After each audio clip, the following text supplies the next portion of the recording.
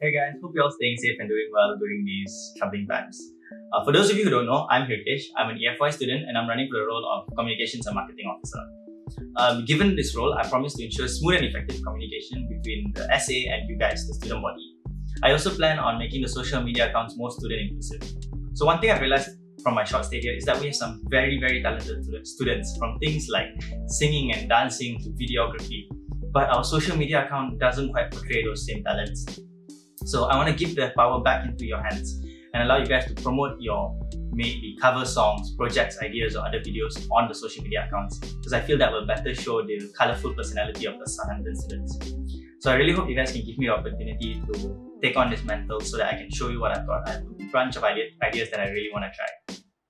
So if you guys do vote for me, I'd like to say thank you and I won't let you down. I'll do my best.